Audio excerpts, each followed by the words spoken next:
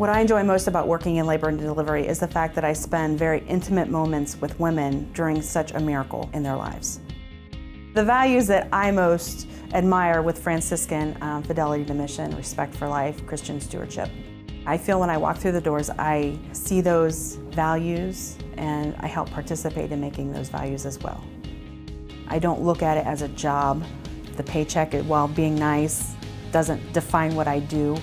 I love what I do and I wouldn't want to do anything else besides bedside nursing here at Franciscan.